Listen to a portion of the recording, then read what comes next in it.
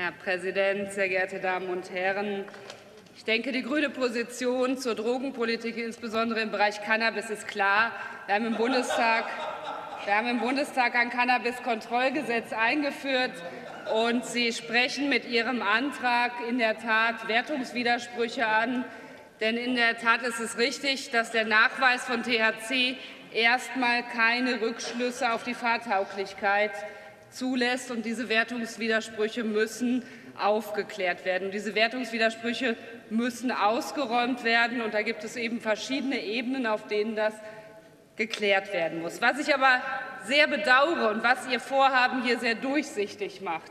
Sie bringen einen Antrag ein, und als äh, Antragstellerin verweisen Sie ihn in drei Ausschüsse, federführend den Innenausschuss, den Verkehrsausschuss und den Rechtsausschuss. Und es ist in keinem Ausschuss wirklich inhaltlich ernsthaft über das Thema gesprochen worden. Sie haben das macht es äh, aus unserer Sicht sehr durchsichtig, dass es Ihnen da nicht um die Sache ging, sondern dass es Ihnen darum ging, hier eine Show zu veranstalten. Und an der werden wir uns natürlich nicht beteiligen. Das trägt nicht dazu bei, dass wir hier eine praktikable Regelung für Konsumentinnen und Konsumenten finden. Wir lehnen Ihren Antrag ab. Vielen Dank.